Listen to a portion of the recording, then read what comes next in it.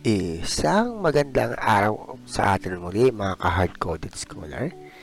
So, nandito naman tayo sa ating panibagong video para turuan ko kayo ng panibagong uh, pagbabypass or pagtanggal ng ng passcode ng isang Redmi 9A. So, ito yung ano, cellphone natin. So, yung may-ari ng cellphone iyan, nakalimutan niya na kung paano uh, nakalimutan niya na yung ano yung passcode o yung pattern ng ano ng kanyang cellphone.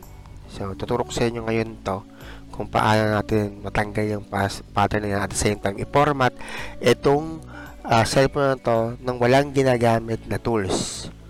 Okay? So kung tayong gagamitin na PC, dito lang tayo magpo-format. Hard reset lang. Alright? So, in count of 3, pasok intro para makapagsimula tayo. 1, 2, 3 intro, pasok!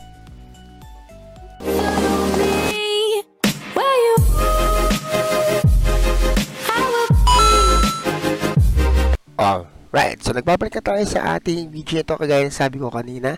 Uh, tutulungan ko kayo kung paano mag uh, mag uh, hard reset ng cellphone ng Redmi 9A without using any uh, computer or PC. Okay? So ito, pakita ko muna sa inyo So, ayan yung may-ari natin. So, pagka nag-draw ako ng pattern, ayan, wala na. So, device is locked na. 1 minute na siya. Okay? So, mabilis lang, uh, ano, wala pang, wala pang minuto or si, wala pang 10 minutes bago natin uh, ma-format to o ma-hard reset to. So, again, paano ba mag-hard reset ng isang Redmi 9A? So, nakikita mo tong power button na to. Yan. At nakikita mo tong up button na yan. Alright? So, pag restart mo, uh, pag, pag open mo ng, ano, ng cellphone, uh, press mo lang siya parehas na ganyan. Okay, sana kita. Kita naman yan. Ito. Tsaka itong app. Okay? So, mabilis lang to. Wala pang 10 minuto to. Pag uh, nag-hard reset na natin to, okay na siya i-set up lang natin tapos uh, i-ano natin yung pattern. Okay? So patayin muna natin power off natin.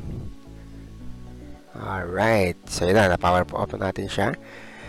Then like what I said uh, up button tsaka power button pagsabayin natin. Sasabayin ko na siya ha?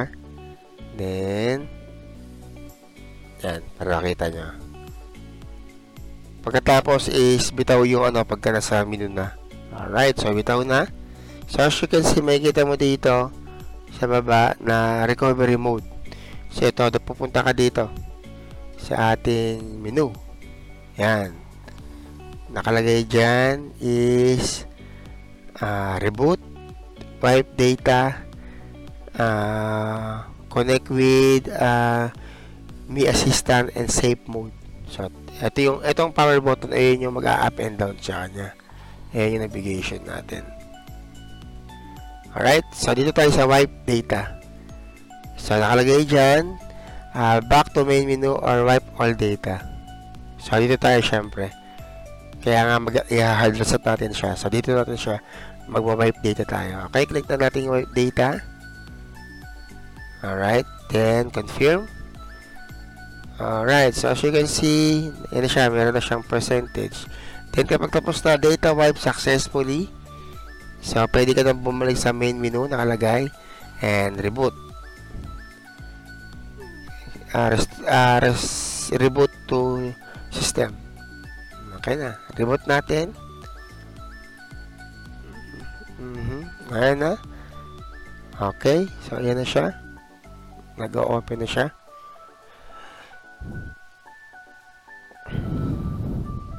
So, napag-wipe na tayo ng data. So, set up na tayo ng ating uh, cellphone.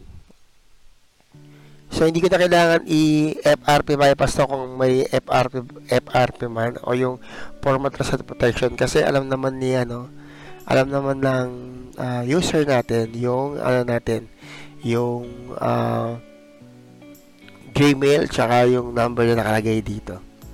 Right? So, double check lang natin kung ano, kung naka, na-reset na siya or na-format na siya. Right? So again, kung nagugustuhan natin yung mga video na, na pinopost natin everyday, uh, don't forget to like and subscribe sa ating YouTube channel and sa ating Facebook page. So yan, set, setting up na siya. Nagsa-set up na lang siya para sa ating uh, cellphone. Sa ating uh, startup ng cellphone. Alright, so ito na, so set up na tayo. Mhm. So, English, okay na yan. Tignan natin. So, United States din. Okay na yan. Mhm. Agree lang natin yan. Yung privacy natin. Uh, skip natin yung wifi.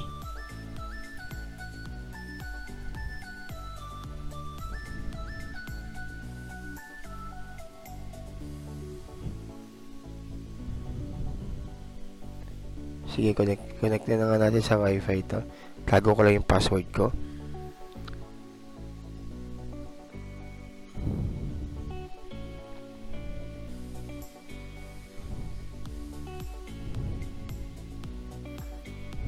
Ayan.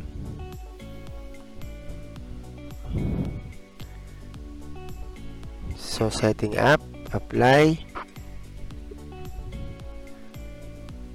Aha. Uh, skip na natin yan, fingerprint. Okay. Uh, and kung classic or apa no. Okay na yan. Uh -huh. Setup complete. So, setup complete na siya. Magagamit mo na yung cellphone ulit. So, wala pang, kagaya sabi ko, wala pang 10 minutes aabutin. Okay, so again, uh, doon nagtatapos ang ating uh, ang ating uh, tutorial. Mm-hmm. Dahil alam naman ng uh, ng ano ng ng, ng may-ari itong yung Google account niya. Okay? So, maraming maraming salamat sa patuloy na sumusupport sa ating YouTube channel. Again, kung nagustuhan mo yung video ito, you can like, uh, share, and subscribe sa ating YouTube channel at ating, ating Facebook page. You can, join, you can also join to our, ano, to our uh, Facebook group. Okay? So, pag meron kang mga cellphone o laptop o uh, mga tablet na gustong pa-repair, uh, PM ka lang sa page. Sa mga bypass ng cellphone natin tsaka ng iPhone natin uh, nililibre ko lang po yan PM lang kayo sa page. Libre lang yan. Gagawa lang natin ng video para mapakita natin kung paano mag bypass at mag ano mag format ng ano ng cellphone. Kung hindi niyo lang alam okay? Kung magtitiwala kayong uh, isend sa akin yung ano yung uh, cellphone niyo okay so again uh, this is uh, Mr. Hardcoded. Uh, nag sa inyo ng salita na consistency is better than talent and always remember sa lahat ng ginagawa natin. Uh, you must have a one goal and one habit. Maraming maraming salamat and see you in our next video. Thank you